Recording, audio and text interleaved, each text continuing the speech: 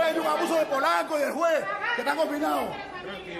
Es un abuso, un atropello al país. El juez Domínguez y, y, pues José Polanco, combinado con Mari Sierra, me lleva más de un tiempo que dirige la cárcel, que es un asesino, el teniente de la Cruz.